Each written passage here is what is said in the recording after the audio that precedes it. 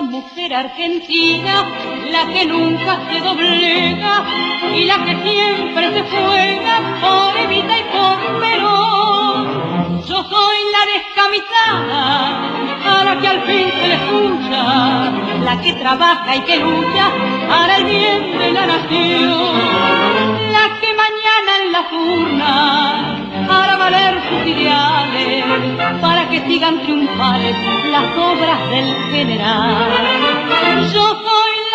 Descamisada, surgida del peronismo, que ostenta el justicialismo como emblema nacional. Soy la mujer argentina del 17 de octubre, la que de orgullo se cubre porque es grande mi nación. Yo soy la descamisada que si es necesario un día hasta la vida daría por Evita y por Perón.